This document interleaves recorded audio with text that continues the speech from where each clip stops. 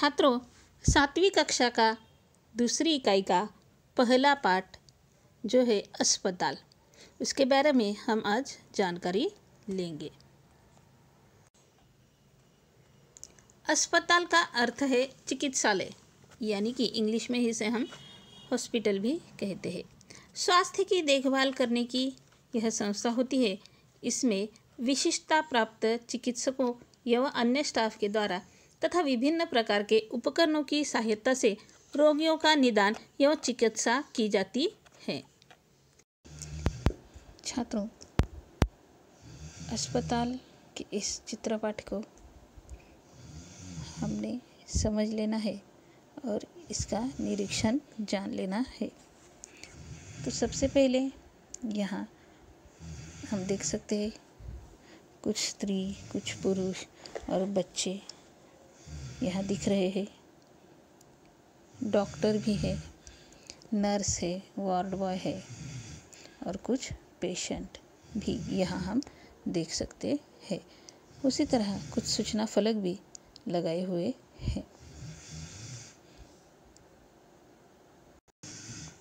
तो आइए छात्रों, सबसे पहले हम देख सकते हैं, यहाँ एक डॉक्टर है जो कि अपने पेशेंट के सामने फ़ाइल लेकर खड़ा हुआ है और उसकी जानकारी उसे दे रहा है। छात्रों, उसके आगे हम देख सकते हैं, एक महिला और एक पुरुष डॉक्टर से मिलने के लिए आने वाली अपनी बारी का इंतज़ार कर रहे हैं।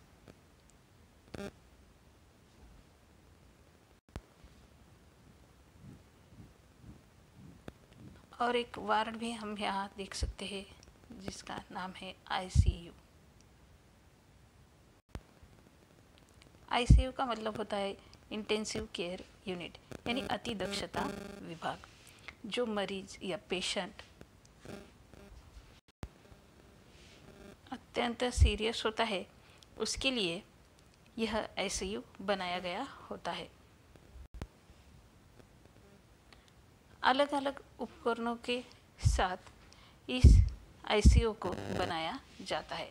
जैसे वेंटिलेटर, यानी ऑक्सीजन देने के लिए एक मशीन भी यहाँ होता है।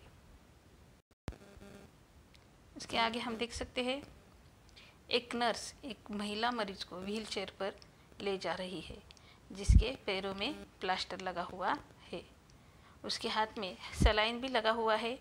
यानी कि उसे शुद्ध हवा में घुमाने ले जाने के लिए वह नर्स उस महिला, मरीज़ को बाहर ले जा रही है, यानी अस्पताल के ही परिसर में।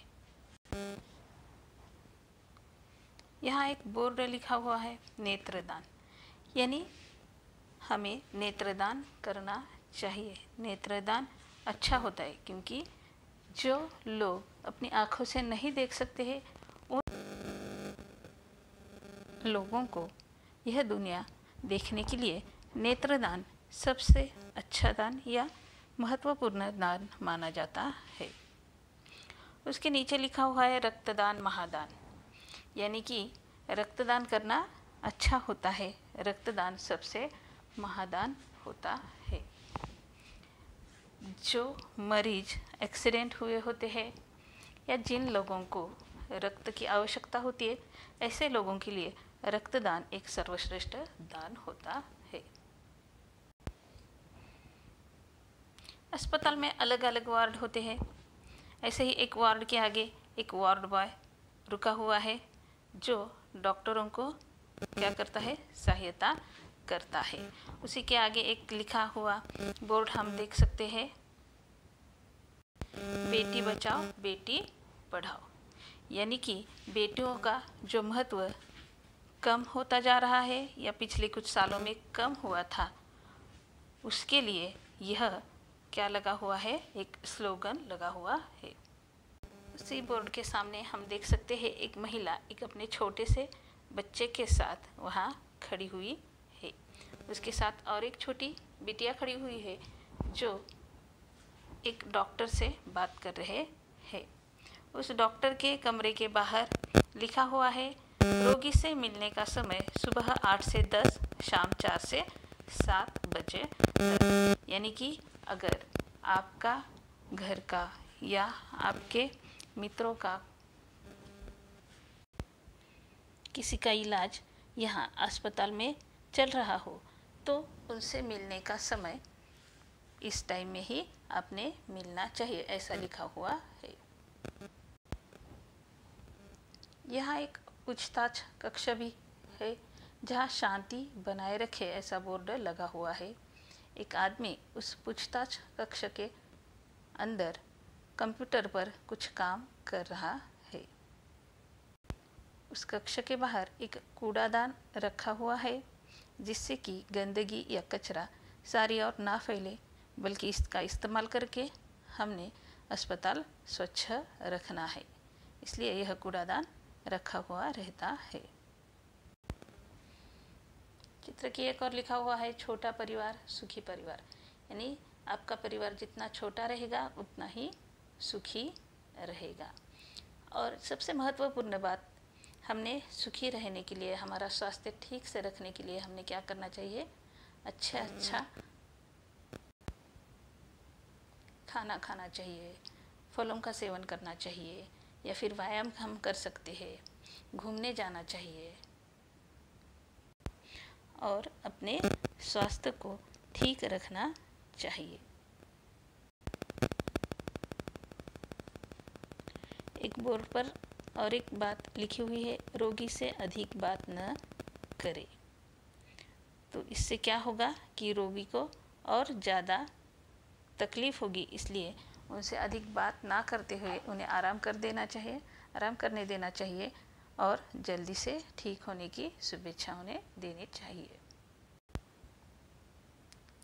छात्रों, आज के इस वातावरण के चलते हुए कोरोना का प्रभाव जो है बढ़ रहा है, इसलिए कई ज़्यादा मरीज़ क्या हो रहे हैं, अस्पताल में भर्ती हो रहे हैं।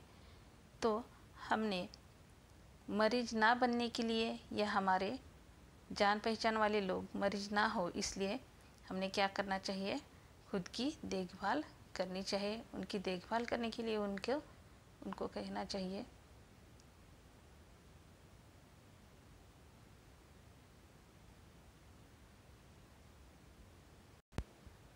और अपना स्वास्थ्य ठीक रखना चाहिए। छात्रों अस्पताल के इस निरीक्षण पर आधारित कुछ प्रश्न लिख लीजिए। जैसे कि इस अस्पताल के चित्र में क्या क्या सूचना पट हम देख सकते हैं? दूसरा प्रश्न है, अस्पताल में कितने डॉक्टर दिखाई दे रहे हैं? तीसरा प्रश्न है, अस्पताल में सबसे महत्वपूर्ण वार्ड कौन सा होता है चित्र का निरीक्षण करके अपने इन प्रश्नों के उत्तर अपने कापी में लिखने हैं। और एक अगला प्रश्न मैं आपको दे रही हूँ कि अस्पताल से दूर कैसे रहे?